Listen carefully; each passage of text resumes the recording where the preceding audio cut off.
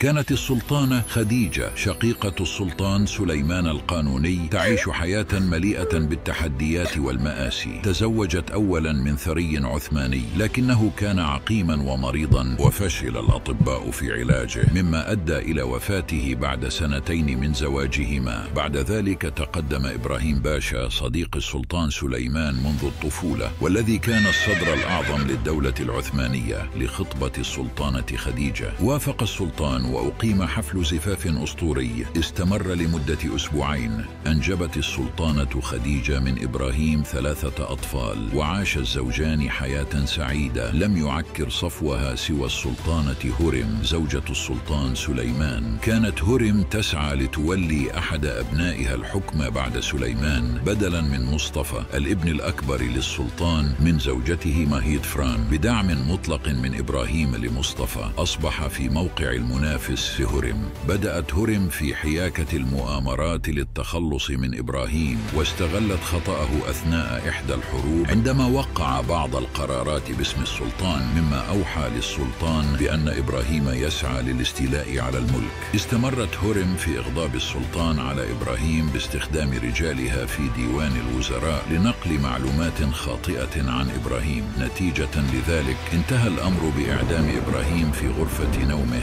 بعد إعدام زوجها غرقت السلطانة خديجة في حزن عميق أدى إلى حدوث جفاء بينها وبين شقيقها السلطان وتوفيت بعد عامين عن عمر 42 عاما تعاظم نفوذ السلطانة هورم بشكل كبير وضعف مركز الأمير مصطفى الذي أعدم بناء على مؤامراتها مما فتح الباب أمام أخيه سليم الثاني لتولي الخلافة.